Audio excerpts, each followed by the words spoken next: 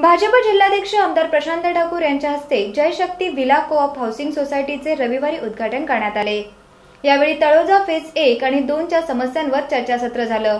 त्यात नागरी समस्यांना उत्तर देण्यासाठी सिडको आणि महावितरणाच्या अधिकाऱ्यांनाही बोलाविण्यात आले होते. जय शक्ती विला तळोजा फेज एक येथील सोसायटीची नोंद झाल्यानंतर बिल्डरने इमारतीचा ताबा रहिवाशांना दिला. त्यामुळे या सोसायटीच्या हस्तांतरणाला विशेष महत्त्व प्राप्त झालंय. यावेळी भाजपच्या वतीने तळोजाच्या विकासावर चर्चासत्र झाले. आमदार प्रशांत ठाकूर यांच्यासह सिडको अधिकाऱ्यांनीही यावेळी रहिवाशांच्या प्रश्नांना उत्तरे दिली. पाण्याची मोठी समस्या या भागात असल्याचे महिलांनी सांगितले. त्यावर आमदार प्रशांत ठाकूर यांनी आपण ही समस्या सिडकोकडे मांडत असून गरज पडल्यास एम आय डी सी कडून पाणी घ्या पण पाणी पुरवठा करा अशी सूचना त्यांनी अधिकाऱ्यांना केली. तसेच मंदिर मैदान शिक्षण संस्था पोलीस चौकी मार्केट या जनहिताच्या कामांसाठी भूखंडाची मागणी रहिवाशांनी केली. या संदर्भात उत्तर देताना आपण लवकरच सिडको सोबत बैठक घेऊन भूखंड आरक्षित करण्याची व कामे सुरू करण्याची मागणी करणार असल्याचे ते म्हणाले. या सगळ्या परिसरामध्ये या सुविधा देताना सिडकोला प्रचंड वेळ लागेल. म्हणून आपण महानगरपालिकेची मागणी केली.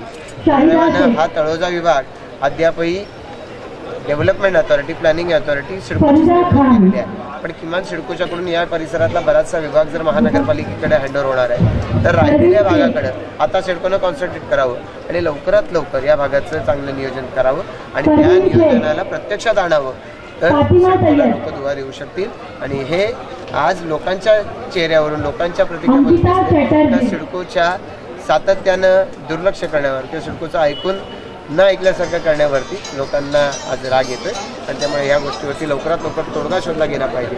तो शोधण्याच्या दृष्टिकोनातून लवकरात लवकर सिडकोच्या अधिकाऱ्यांची भेट घेऊन आम्ही याच्यावरती मार्ग भाजपचे तालुकाध्यक्ष अरुण शेठ भगत सरचिटणीस प्रल्हाद केणी तालुका महिला मोर्चा अध्यक्ष रत्नप्रभा घरत कुंदा मेंगडे निर्दोष केणी दशरथ मात्रे गुरुनाथ मुंबईकर मनसूर पटेल व अन्य पदाधिकारी आणि रहिवासी यावेळी उपस्थित होते.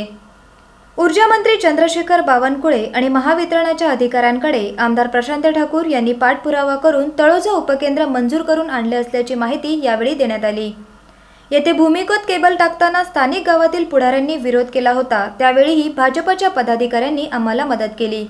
पावसाळ्यात बंद असलेले काम पूर्ण झाले असून उपकेंद्र डिसेंबर अखेर सुरू होणार आहे. त्यामुळे पतदिवे आणि लोडशेडिंगची समस्या सुटणार असल्याचे विद्युत विभागाचे सहाय्यक अभियंता एस एस हिवराळे यांनी सांगितले. या कार्यक्रमाचे औचित्य साधून तळोजा भाजपच्या पदाधिकाऱ्यांना नियुक्तीपत्राचे वाटप करण्यात आलं.